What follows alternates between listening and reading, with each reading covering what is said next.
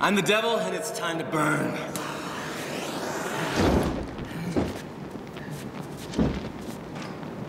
The flaming gauntlet is definitely my most macho bit because I knew that I was going to get burned. What's the plan here, O? Well, I come along this beam. These balls are on fire. And they're swinging, and they knock me into the fire. The guy who ran the warehouse where we shot the flaming gauntlet was concerned that the heat from burning the coals, like, was going to crack his cement.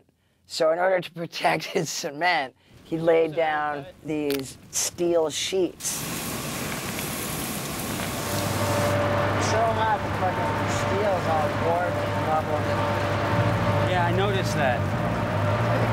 Why did they put it on a frying pan? You're really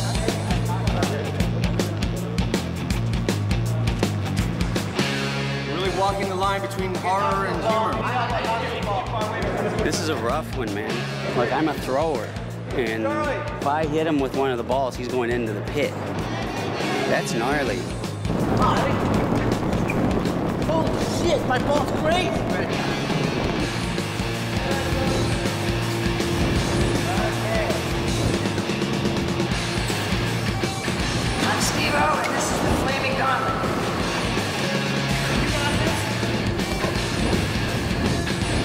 God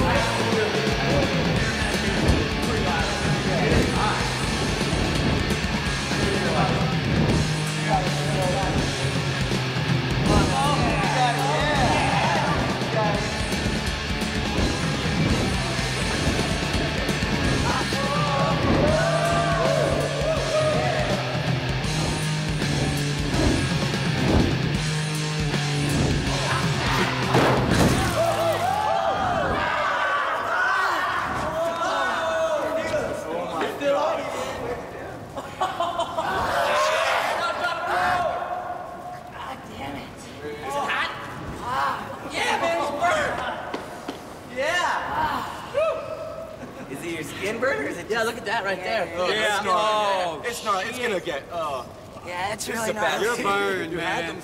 Yeah, it's really hot. That's the thing about fire. I know. Hot. I got burned all upside my body and had to go to a burn unit. Shit! Call the medic. Ah. Go grab some towels. What's your pain level at? Under a normal person would probably ask for a painkiller. well, you got your card revoked.